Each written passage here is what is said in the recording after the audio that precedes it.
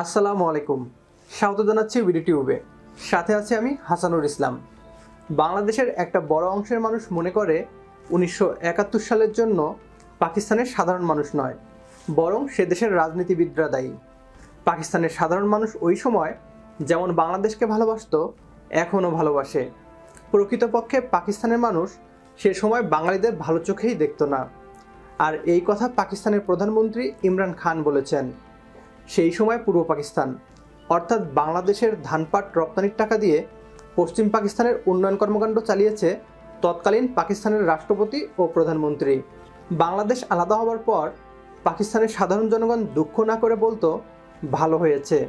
পূর্ব পাকিস্তান একটা বোঝা ছিল।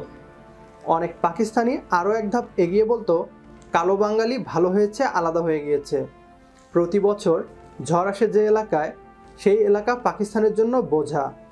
এখন হয়তো অনেক পাকিস্তানি ইউটিউব চ্যানেল কিংবা পাকিস্তানি নাগরিক ফেসবুকের মাধ্যমে বাংলাদেশকে সাপোর্ট করছে, বাংলাদেশের প্রশংসা করছে। গত কয়েক বছর ধরে বাংলাদেশিদের প্রতি পাকিস্তানিদের ভালোবাসা ও সাপোর্ট লক্ষ্য করার মতো। কিন্তু বাংলাদেশ তো আগেও ছিল। তখন তাদের এত ভালোবাসা ও সাপোর্ট দেখতে পাওয়া যেত না। বরং বিভিন্ন সময়ে বাংলাদেশকে নিয়ে ব্যঙ্গ বিদ্রুপ করত। আজ বাংলাদেশ অর্থনৈতিকভাবে অনেক শক্তিশালী। পাকিস্তানের চেয়ে পাঁচ গুণ বেশি রিজার্ভ বাংলাদেশের। মাথাপিছু আয় থেকে শুরু করে অর্থনীতির প্রায় সব সূচকে বাংলাদেশ এগিয়ে। বাংলা একটা প্রবাদ আছে, পকেটে টাকা থাকলে বন্ধুর অভাব হয় না। পাকিস্তান আজ বিশ্ব দরবারে বাংলাদেশের সম্মান টের পেয়েছে। নিউক্লিয়ার বোমার মালিক হয়ে সম্মান কেনা যায় না। তার উদাহরণ হচ্ছে পাকিস্তান। পাকিস্তানের রাষ্ট্রপ্রধানকে কোনো দেশ সফরের জন্য অনুরোধ করে না। পাকিস্তান করলেও বেশিরভাগ দেশই সাড়া দেয় না। অন্যদিকে বাংলাদেশ তুরস্ক থেকে শুরু করে চীন, রাশিয়া, আমেরিকান অনেক রাষ্ট্রপ্রধান আসার আগ্রহ প্রকাশ করেছে। ভারতের মন্ত্রীরা তো প্রতি মাসেই সফরে আসেন। আজ এই কথাগুলো বললাম কারণ পাকিস্তানের প্রধানমন্ত্রী ইমরান খান আবারও বাংলাদেশের উন্নয়নের তারিফ করেছেন। সেই সাথে বাঙালিদের প্রতি পাকিস্তানের আচরণ কেমন ছিল তা নিয়েও কথা বলেছেন। কী ছিল ইমরান খানের সেই বক্তব্যে? সেটাই দেখাবো বিডি টিউবের আজকের এই ভিডিওতে তার আগে আপনি যদি বিডি টিউব চ্যানেলে আজ প্রথম হয়ে থাকেন তাহলে প্রিয় জন্মভূমিকে নিয়ে আমাদের এই পথ চলায় চ্যানেলটিকে সাবস্ক্রাইব করে আপনিও পাশে থাকুন আর ইতিমধ্যে সাবস্ক্রাইব করে থাকলে আপনাকে অসংখ্য ধন্যবাদ क्यों थो- अमी- छोटा सा तबका अमीर हो गया बाकी लोगों के पास हमारे से सारे मुल्क आगे बांग्लादेश हमारे से आगे निकल गया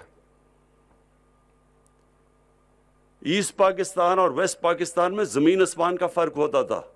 कोई सोच भी नहीं सकता था कि ईस्ट पाकिस्तान, वेस्ट पाकिस्तान से ज़्यादा खुशहाल हो जाएगा। और आज देख लें बांग्लादेश, जो, जिसको लोगों ने यहाँ जब अलहदा हुआ तो उन्होंने कहा, जी, बहुत बोझ पड़ा हुआ था पाकिस्तान पे, ईस्ट पाकिस्तान का।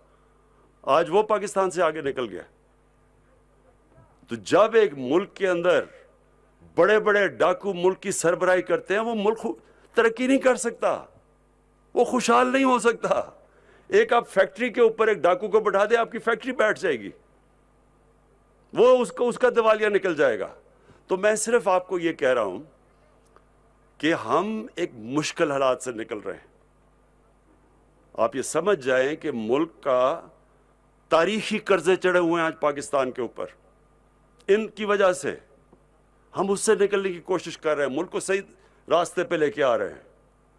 ये मुतमिन हो जाएँ कि अल्लाह ने जो चीज़ें जो वसाइल जो नेमते पाकिस्तान को बख्शी हैं, कोई मुकाबला नहीं करेगा हमारा चंद सालों में। अगर हम कानून कानून की बालादस्ती कोई मुल्क तरक्की नहीं करता कानून की बालादस्ती के बगैर। कोई मुल्क नहीं तरक्की करता जिधर ताकतवर के लिए कानून और कमज़ोर के लिए दूसरा। कोई मुल्क नहीं तरक्की करता। और ये किसने कहा था? हमारे नबी सल्लल्लाहु अलैहि वसल्लम ने कहा था। उनके, उनकी हदीस थी, बड़ी कौमें तुम्हारे से पहले तबाह हुई।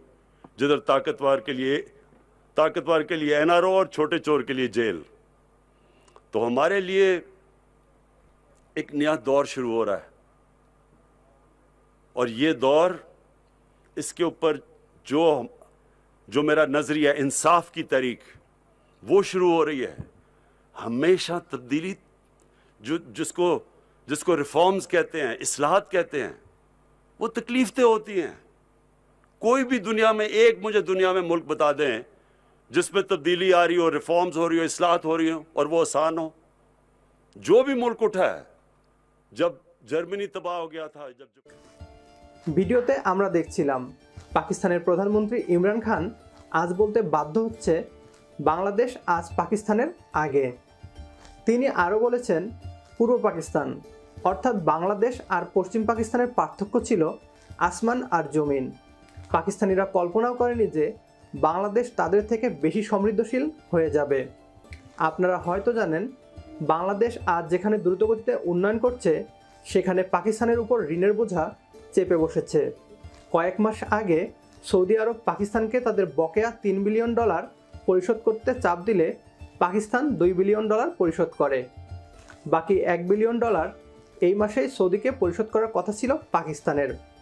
আর ঠিক এই মুহূর্তেই সংযুক্ত আরব আমিরাতও তাদের বকেয়া মেটানোর জন্য পাকিস্তানের উপর চাপ প্রয়োগ করেছে।